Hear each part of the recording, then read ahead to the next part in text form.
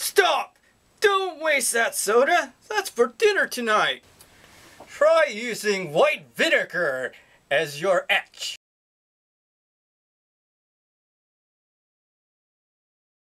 Alright, so you have everything you need. You have your white vinegar, now for your etch. You have gloves to keep material clean. You have a foil for printing on as your plate. A brayer for inking. Your vegetable oil to remove. You have litho crayons to draw with. You have scissors for those pesky areas of plate. You have your trays for water. Your sponge is, and let's get started. Next, you need your plate to work with. Nice piece of aluminum foil. Now what's been working for me has been just smoothing the plate out on the table and then creating my drawing. Once I've created my image, then I'm ready for the etch. And like I said, instead of soda, we're going to use white vinegar. Okay, now I'm setting my timer for seven minutes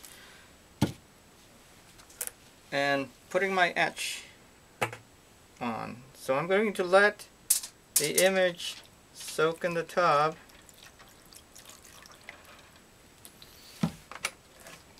For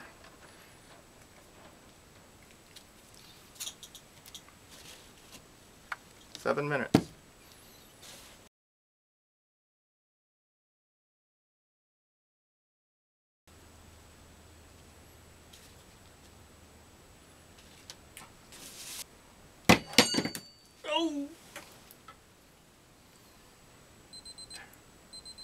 Done.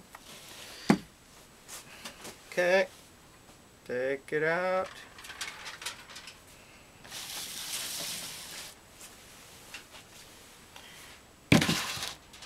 Rinse with water.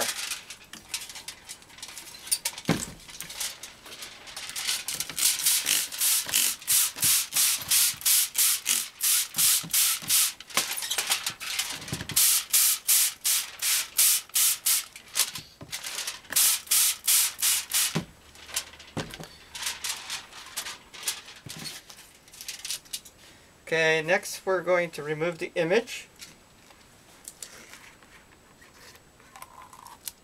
A little bit of vegetable oil.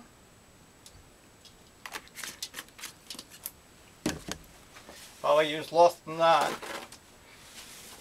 Clean paper towel.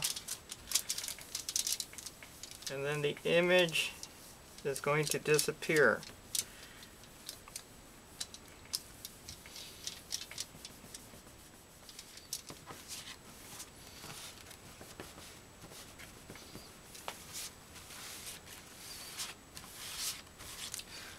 Okay.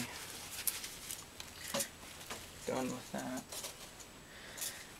Okay, now that it's all buffed down with the vegetable oil, we're actually ready to start inking.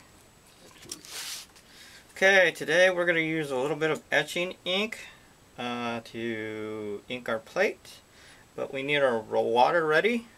So let's get started. Put a little ink on our piece of glass. Load up our brayer.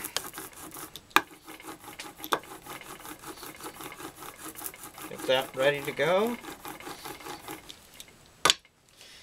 Okay, now we're going to put in clean water. This is where it gets a little messy as far as water goes. Put water on the image. Then we use our dirty sponge.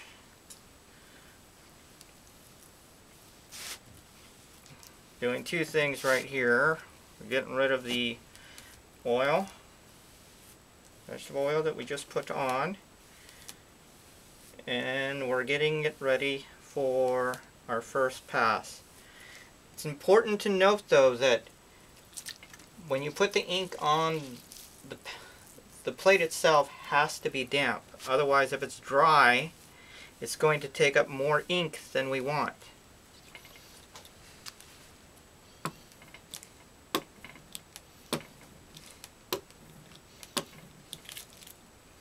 It's alright if you don't get all the ink down on the first pass. Now, more water. Wipe.